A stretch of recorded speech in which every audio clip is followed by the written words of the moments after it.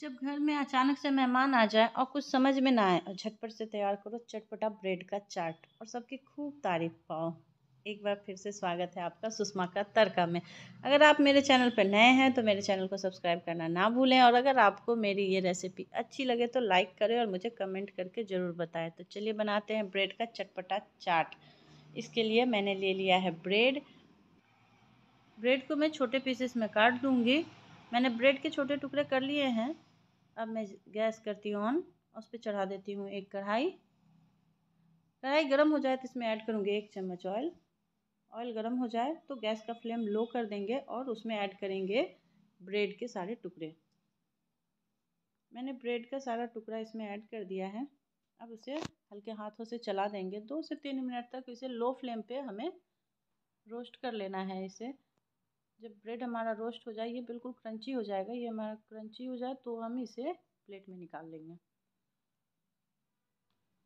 ये बिल्कुल क्रंची हो गया है, जैसा हमें चाहिए, अब मैं इसे प्लेट में निकाल लेती हूँ।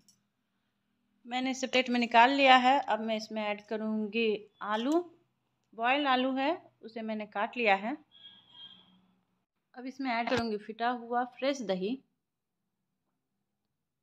फ्रेश दही ही यूज़ करें। अब इसमें मैं ऐड करूँगी जीरा, ब्लैक पेपर और सूखी लाल मिर्च का मैंने पाउडर बना लिया है। आप चाहे तो उसे आप अलग अलग भी यूज़ कर सकते हैं।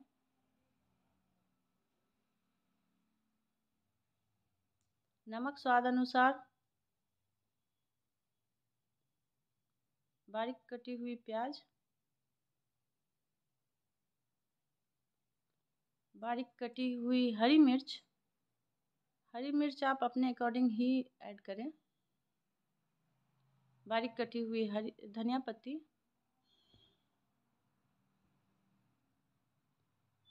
अनार के दाने। काला नमक। यहाँ चाट मसाला भी आप यूज़ कर सकते हैं।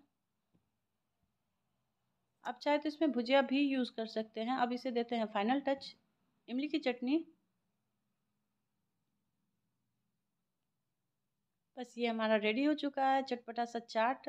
उम्मीद है आपको मेरी ये रेसिपी अच्छी लगी होगी तो मिलते हैं अपने नेक्स्ट वीडियो में। Bye bye